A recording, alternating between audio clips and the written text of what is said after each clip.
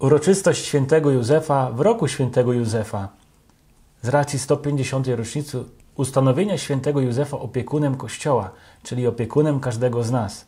Święty Józef chce realnie się nami zaopiekować. On nas rozumie, bo sam doświadczył wielu wątpliwości, wielu przeciwności, wielu trudności w swojej codzienności, w swoim życiu. Dzisiaj słyszy słowa anioła: Nie bój się, Józefie, nie bój się, Józefie. I Józef dzisiaj do nas mówi: Nie bój się i zwraca się do nas po imieniu. Ja dzisiaj Pana Boga uwielbiam za wielką łaskę, jaką otrzymałem za wstawiennictwem świętego Józefa i Najświętszej Maryi Panny. Łaskę wolności w dziedzinie czystości.